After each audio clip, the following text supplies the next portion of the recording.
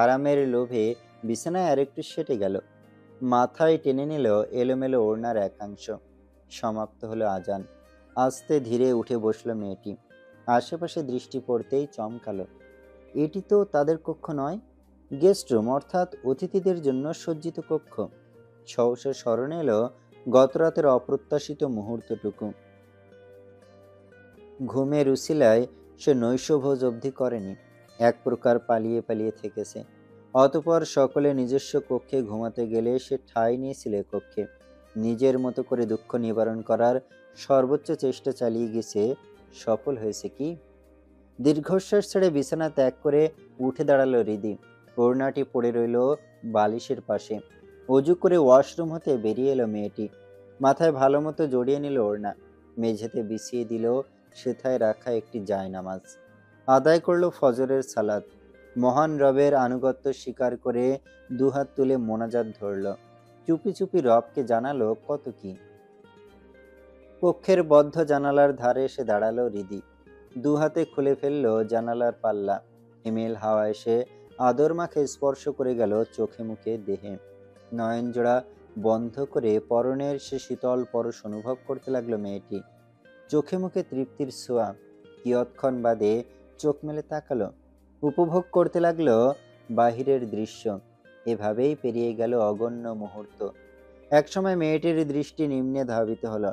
এ জানালা হতে বাড়ির সম্মুখ ভাগ মোটামুটি দৃশ্যমান। দেখা মিলছে এক শুভ্র পোশাকধারী সুটামদেহী মানবের। বাড়িতে প্রবেশ করেছে সে। জামায়াতে সালাত আদায় করে ফিরেছে বুঝি। তাকে দেখা মাত্রই অভিমানের অভিমান উপচে পড়তে লাগল। দ্রুত দৃষ্টি সরিয়ে নিল হৃদি পৃষ্ঠদেশ ঠেকল জানালার গ্রিলে। দেখবে না সে, তাকাবে না এ নিষ্ঠুর মানবের পানে। ছলছল করে উঠল দুনয়ন মনের ভেতরকার অবস্থা অনুধাবন করা মুশকিল। টেবিলের ওপর সকালের আহারের আয়োজন করে চলেছেন মালিহা, সঙ্গিনী একজন পরিচারিকা। দুজনে মিলে আহারের ব্যবস্থা করে ফেললেন।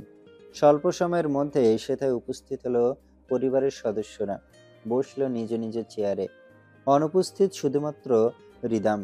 ইনায়া মাকে সেটাই জিজ্ঞেস করতে যাচ্ছিল তখনই দেখা মিলল সাহেবের। পরিপাটি রূপে সিঁড়ি বেয়ে নেমে এলো মানুষটি। ডাইনিংয়ে এসে শান্ত স্বরে মাকে জানালো পার্টি অফিসে যেতে হবে। দরকার আছে আসছি। আসসালামু আলাইকুম।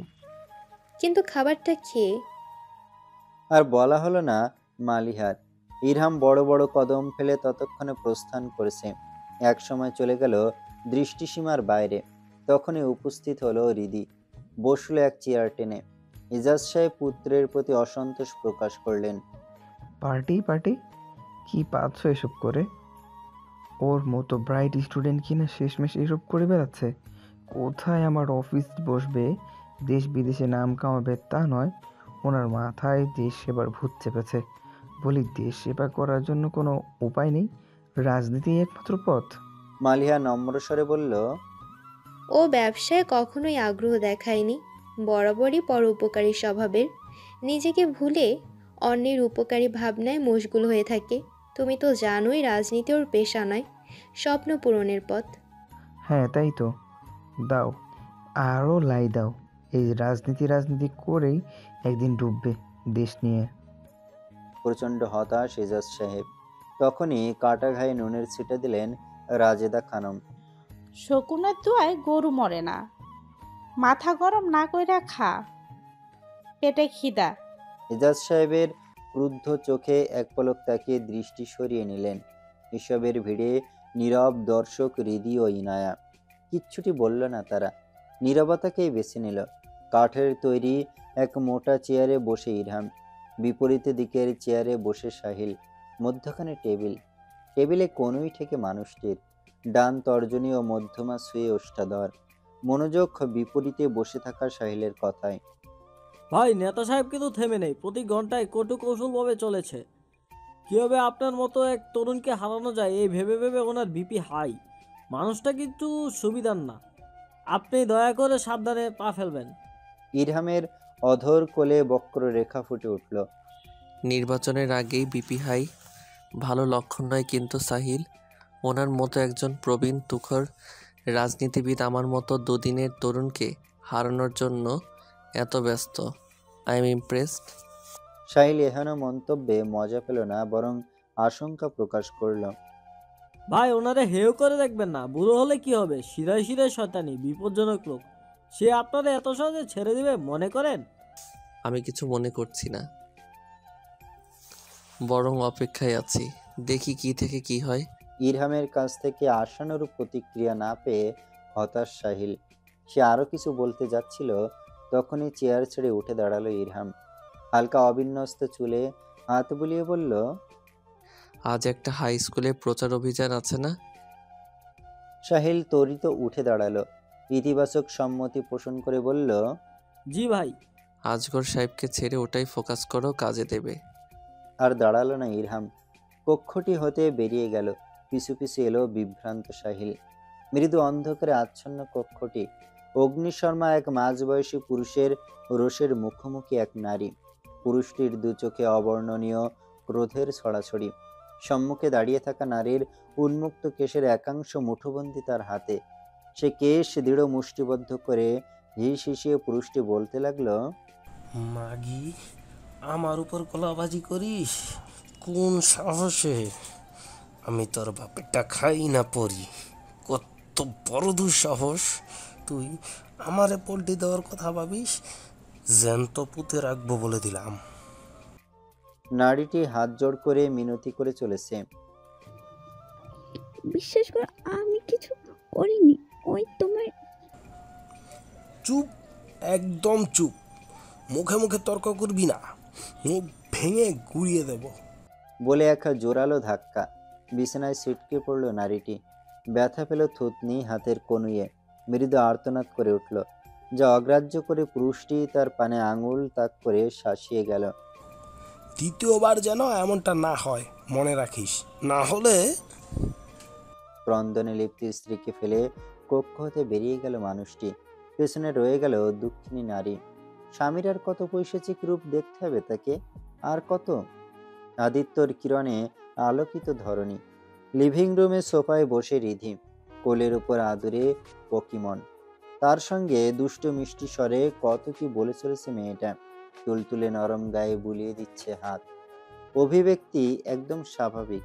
ভেতরে কি চলছে বোঝা দুষ্কর। ঠিক তখনই পুরুষালী ভারিক কি কণ্ঠস্বর এসে শ্রবণেন্দ্রিয়ে ধাক্কা খেল। যার পরনায় অবাক হলো রিদি এই সময় সে কোথা হতে? রিদি তড়িত তাকালো বাড়ির প্রবেশদ্বারে। হলো বিহবল। কৃষ্ণবর্ণ ট্রাক স্যুট পরনে মানুষটির বুকের পা পাশে ছোট্ট করে শুভ্র রঙে অ্যাডিডাসের লোগো। ট্র্যাক জ্যাকেট এবং জগারের দুপার্শ্বে সাফেদ থ্রি স্ট্রাইপ তাকে আরও আকর্ষণীয় করে তুলেছে। জ্যাকেটের জিপ বন্ধ কক্ষ অবধি। দুঃস্লিপ গুটিয়ে কনুয়ে তুলে রাখা। দৃশ্যমান লোমস পুরুষালী দুহাতের অংশ বিশেষ। বা হাতে স্মার্ট ওয়াচ। সুটাম দেহে বেশ মানানসই এমন অবতার। মানুষটির মুখশ্রী গলদেশে বিন্দু বিন্দু শ্বেত জলের অস্তিত্ব। লালচে রূপ ধারণ করেছে গৌরবর্ণের মুখশ্রী। চোখে নেই চশমা। কর্ণে ঠেকানো স্মার্টফোন। অভিমানী কন্যা এক মুহূর্তের জন্য অভিমান ভুলে গিয়েছিল বিমুগ্ধ। তার চোখে মুখে প্রকাশ পাচ্ছিল মুগ্ধতা। সহসা ইরহামের কণ্ঠে ঘোর কেটে গেল। নিজের বোকামির উপর ধিক্কার জানিয়ে সোফা ছেড়ে উঠে দাঁড়াল রিদি। ততক্ষণে আলপনে লিপ্ত মানুষটি শ্লথ গতিতে কদম ফেলে অভ্যন্তরে উপস্থিত হয়েছে। স্বাভাবিকভাবেই চোখাচুকি হলো দুজনার। হৃদি দ্রুত দৃষ্টি সরিয়ে নিল। কি করবে ভেবে পাচ্ছে না। অগত্যা পকিমনকে কোলে নিয়ে পা বাড়ালো বাড়ির বাইরে। পকিমন তখন তার স্বরে ডেকে চলেছে ইরহামের দৃষ্টি আকর্ষণ করার জন্য। এহেন আচরণে ভুরুকুসকে হৃদির গমন পথে তাকালো মানুষটি। কর্ণে তখনও ঠেকলো মোবাইলটি। সেকেন্ড কয়েক ভাবতেই কুঞ্চিত ভুরু সোজা হলো। বোধগম্য হলো প্রকৃত বিষয়টি। অন্তরে কি একটু হলেও কাঁপন ধরল? বিছানায় শুয়ে যন্ত্রণায় কাতর নারী নিদারুণ যন্ত্রণায় যেন ছিঁড়ে যাচ্ছে রক কক্ষ আধার বানিয়ে শুয়ে তিনি।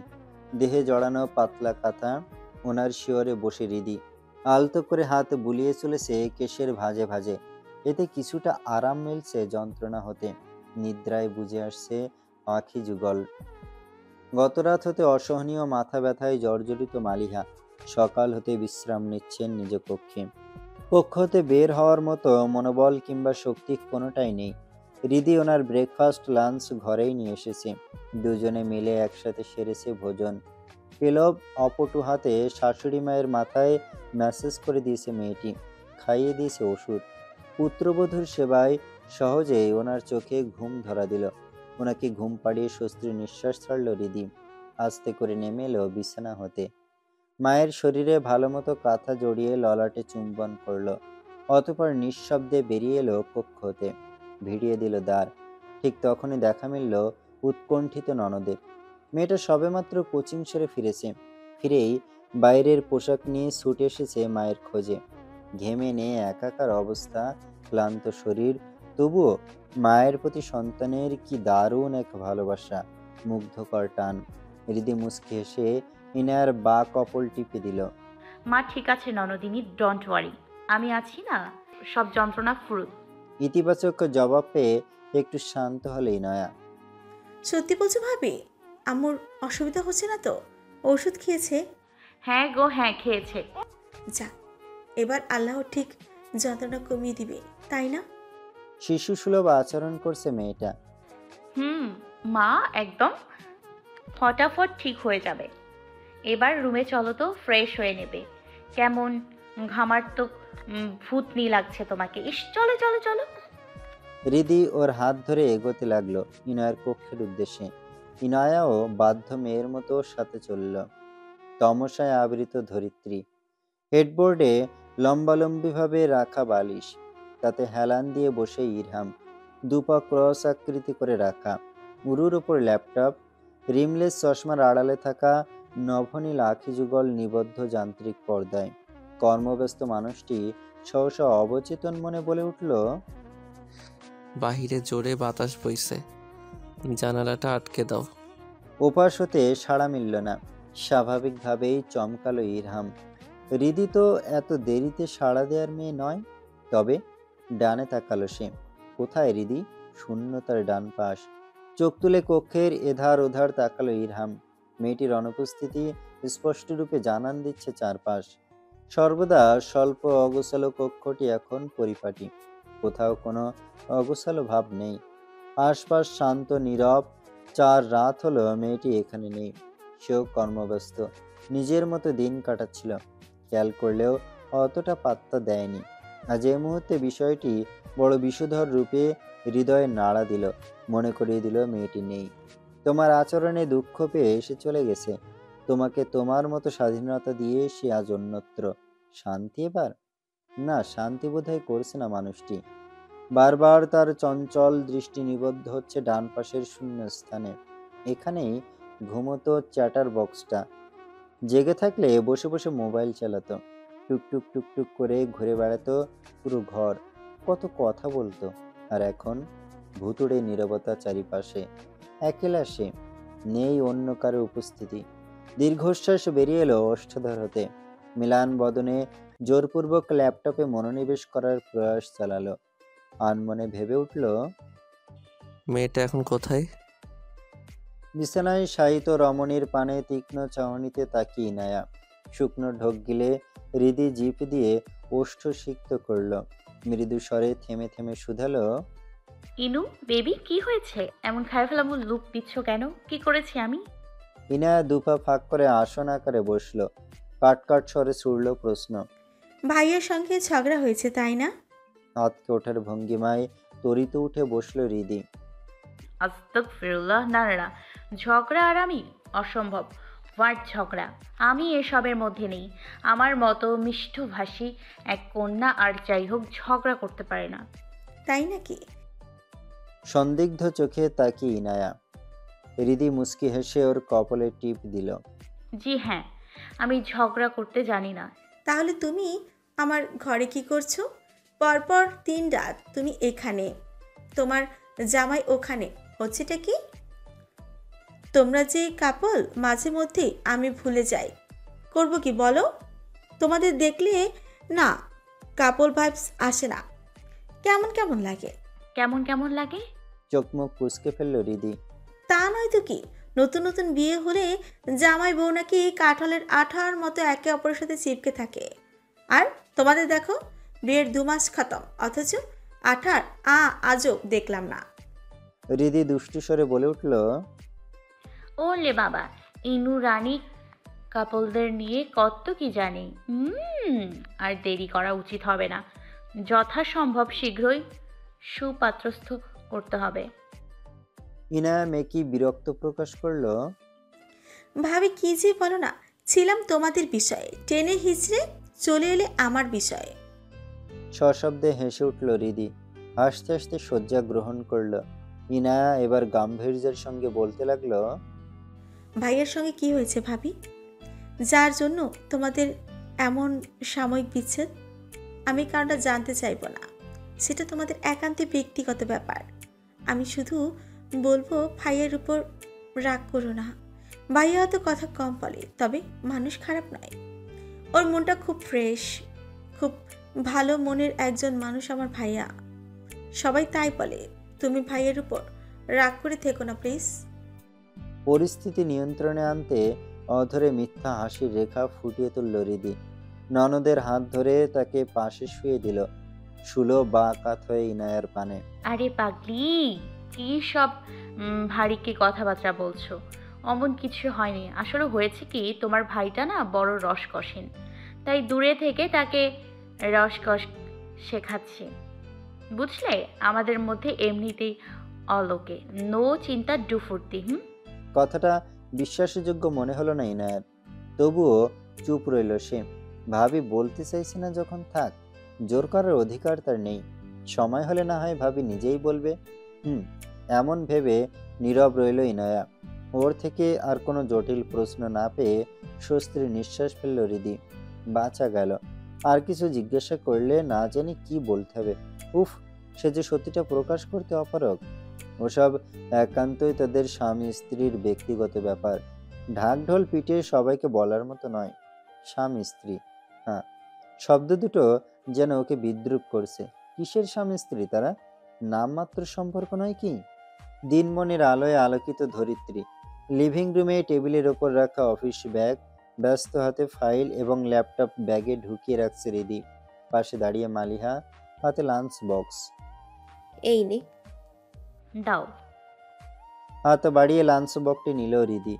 রাখল ব্যাগের ভেতর। অতপর চেন আটকে দিল।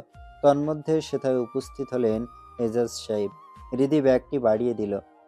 পাপা, এই যে। উনি কিছু না বলে ব্যাগটি হাতে নিলেন। সে মুহূর্তে দোতলার রেলিং ঘেঁষে দাঁড়াল ইরহাম, কানে ইয়ারপড। পরনে ঘরের পোশাক, ফোনালাপে লিপ্ত থাকলেও তার দৃষ্টি নিবদ্ধ লিভিং রুমে, অর্ধাঙ্গিনীর পানে। মেয়েটির পেছনাংশের দেখা মিলছে। চেহারা ওদিক ঘুরিয়ে রাখা। বাবাকে বিদায় জানাচ্ছে। অবচেতন মনে মানুষটি খুব করে চাইছে একটুখানি এদিক ফিরুক মেয়েটা। দেখা মিলুক তার মায়াবী মুখখানের। শান্ত হোক এ উচাটন মন। তবে সে আশায় সেগুড়ে বালি। কতটা সময় দাঁড়িয়েছিল ইরহাম? ফোনের অপর প্রান্তে থাকা মানুষটিকে বারবার বিড়ম্বনায় ফেলেছে কথার জবাব না দিয়ে। তবুও আশা পূরণ হলো না। মালিহার সঙ্গে লিভিং রুম ত্যাগ করল রিদি। দেখা মিলল না কাঙ্ক্ষিত চেহারার। অবর্ণনীয় হতাশা ঘিরে ফেলল আষ্টে পৃষ্ঠে। কান হতে এয়ারপোর্ট খুলে গটাগট পায়ে কক্ষের দিকে অগ্রসর হলো মানুষটি। নিত্যদিনের ন্যায় ব্যস্ত এক সকাল, ননদ ভাবি যুগল একসাথে রেডি হচ্ছে। একজন যাবে ভার্সিটি আরেকজন কোচিং সেন্টারে সমতল আরশির সম্মুখে ভিড় লেগে গেল। দুষ্টিমি করে একে অপরকে ঠেলাঠেলি করছে ইনয়া, রিদি। শেষমেশ হার মানতে বাধ্য হলো ইনয়া। রিদি বিজয়ীর হাসি উপহার দিয়ে তৈরি হয়ে নিল। হিজাবে পিন গেথে শেষবারের মতো আয়নায় নিজেকে দেখে নিল ইনায়া। রিদি মুগ্ধ নয়নে অবলোকন করল ননদকে। হিজাব পরিহিতা মেয়েটিকে কি মিষ্টি লাগছে স্নিগ্ধ পবিত্র লাগছে আর সে আয়নায় নিজেকে দেখল রিধি। তার মাথায় ওড়না অবধি নেই অনাবৃত কেশ। সে এক মুসলিম রমণী তার পোশাক কি আদৌ এমন হওয়া উচিত? ভাবনাটি মস্তিষ্কে বেশ নাড়া দিল। ভাবনায় মশগুল মেয়েটি ধীর পায়ে ইনায়ার সঙ্গে কক্ষতে বেরিয়ে এলো। ফুপি আর কত? মেরে ফেলবে নাকি? মারবো ধরে কিসব বাজে বকছিস? নুডলস খেয়ে কেউ মারা গিয়েছে? এমনটা আজ অবধি শুনেছিস? মালিহার কথা শুনে নিঃশব্দে হাসলো বিপরীত দিকের সোফায় বসে থাকা রাহিদ।